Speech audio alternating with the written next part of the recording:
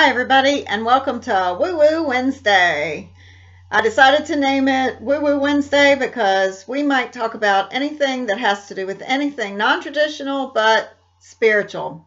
Maybe something that doesn't necessarily fall into a category of a specific spiritual practice, but enhances your life in some way, makes you feel a sense of well being or a sense of um, goodness, peace, comfort. So that's what I like to call woo woo. Anything a little bit out of the ordinary, but enhances your life in a good way. That's my definition, and that's why I wanted to call it that because I might talk about lots of different things. I might talk about tarot cards. I might talk about uh, shamanism. I might talk about um, talking to dead people or talking to guides or angels. There's a lot of different directions that I can go with this, uh, my Wednesday talk. I'm going to try to keep it fairly short and maybe answer some of your questions. If you have something you want to talk about, be sure to write it in the comments. Be sure to like and subscribe if this is your thing. And let's just delve into this journey together. Let's just move on to the next step. Let's just um, create a more wonderful world. And you know how we create a more wonderful world is creating a better world inside of us. And so, no matter what's going on on the outside of us, the most important thing is to think about what's going on on the inside. Where am I inside of myself? Is it well with my soul? So, that's really the goal of life, if, if you really think about it. Um, I recently have been watching some different um, uh, documentaries about different people that have overcome different huge obstacles in their life. And um, it's really inspiring when somebody is able to overcome challenges and really thank the challenges for giving the, them the opportunity to be one with their soul and to develop a relationship with themselves, with maybe a spiritual practice that they've really connected with. Um, a lot of times, those are the things that happen that move us forward in life. It are it's those challenges, those things that that create um, what is commonly called a dark night of the soul. It's really not a dark night of the soul because I think that you know our soul's okay. It's probably more a, a dark night of the ego or a dark night of the identity, which you know I kind of think of our ego as our identity. I know um, I can point to at least one time in my life where I went through a very dark night of the soul, what I called it. And it was really that I didn't know who I was anymore, that the identity I had created for myself no longer fit into my circumstances, into my viewpoint on life, into my belief system. And it created in me not really knowing who I was anymore, not really knowing how I fit into the world uh, thinking that I had a specific life plan, and then that plan got completely um, eliminated from my life. And so everybody has to go through those things. Everybody has to have have um, the rug ripped from out from under them so that they can recreate their life and that they can um, kind of shift their identity in a different direction. I think we all go through those kind of things.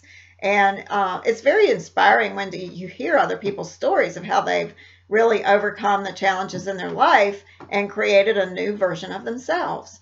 And so maybe during this time, during this pandemic, this time of social distancing and spending more time at home and doing a lot of self examination, maybe it's time to really go through that and really think about is the person who I am the person that I want to be for the rest of my life? is this person that I am portraying to the world, is that the real me? Is that the person who I am? Is that um, how I want to leave a legacy when I pass on? Like, what are people going to say about me at my um, at my funeral if there is one? What would people say? Would they say, well, of course, when you're at a funeral, everybody says good things, but what would they be thinking you know, when that person passed, would they be thinking, oh, my life is so much better because of them? I remember when my parents passed, both of them, the way we did the services was um, we didn't have a body laid out, you know, for people to come by and boohoo and all that. what we did was we had people who came to the service get up and share of how their lives had been impacted by the person that had passed, both my mother and my father, who died about nine years apart, I think it was. But that was very comforting to us to see people get up and say, you know, this person did this for me. They made my life better. They um, they came and rescued me when I was in a bad place, or they, you know, this act of kindness changed my life. Um, those are the kind of things I think that we, when we pass and we look back on and say, well, my life must have been okay because I made a difference in the life of somebody. And so during this time of isolation, social distancing, instead of, you know, getting all up in arms about, I'm so mad because somebody bought all the toilet paper, or uh, I'm so upset because I can't go to work and blah, blah, blah. Instead of doing that, let's look at our lives and say, you know, what can I change about myself? What can I change about my circumstances? And really look and see of what's working in your life and what's not working and what things can maybe we work on together as a collective planet of humans. What can we do to change the way we're experiencing life? How can we live our lives more authentically and in um, in a good place with the planet, in a good place with um, what can we do as individuals to create a collective experience of life in a better way? So that's just what I want to talk about today. I want to talk about really going within yourself and discovering what it is that you can do in the comfort of your own home to change things, to change the way you're experiencing life. And to go back to my first statement, if it is well in your soul, then whatever's on the outside, sure, it's going to affect you. Sure, it's going to cause some distress. But how can we look at life in a different way? How can we be present in our experience and be okay with what is? Uh, really going into that sense of discomfort and saying, what do I really feel discomfort about? What do I really feel angry about? Is it really because there's no toilet paper or is it something else? Is it my fear of scarcity? Is it my fear of not having enough? And that can go to a lot of different things. If there's, you know, obviously a ton of people out of work, there's a ton of people that don't know how they're going to pay their rent or their mortgage or their electric. They don't know how they're going to move forward. And it's a really, it's a really uh, intense moment of how do I create the next moment? How do I move out of feeling powerless to change things in my life to understanding that I am powerful and there are things that I can do to shift what I'm experiencing in my life so that I am moving forward in some sort of um, sense of empowerment within myself and knowing that everything that we go through is temporary.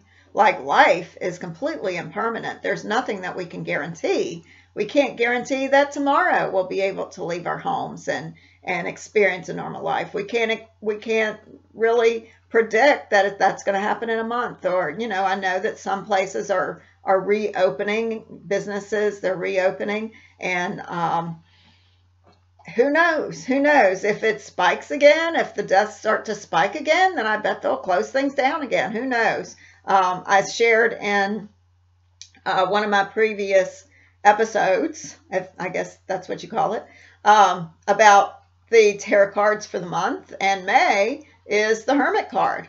And the Hermit card doesn't say that we're going to be out all enjoying our lives again really soon. Hermit is all about isolation. It's all about going within ourselves and um, really examining our own inner sense of wisdom. And so I think that as we uh, say goodbye to April and move into May, that it's really important for us to really say, is it really time for, for me to rejoin society? Is it really time for me to go out and uh, be social again? I think that, you know, we may want to take a step back and re examine that for ourselves individually. Obviously, if the economy opens back up and um, life kind of goes back to normal, I think that um, that's not something that we can control one way or another, unless we're a politician. then I guess we have some control. But for us individually, I think it's still going to be a real time of uh, deciding for ourselves whether we should still continue to social distance, whether our time of isolation is completely uh, done, whether we have grown at all as a soul from this time. Um, I just think about, you know, different people that are in the news and in, you know, the documentaries I've been watching about how they attribute their spiritual growth to that time of isolation, to that time of not knowing who they were, were as a person and not being able to control their outer circumstances to a large degree. And yet it created within them the opportunity to go inside and really learn who they were as a soul. So I want you to really take this time to really think about that and um, and use this time of isolation to really focus on your soul, focus on the light of your soul and really creating change in your own personal life. And I thank you for listening and I hope that you will um, join me next time for another edition of Woo Woo Wednesday.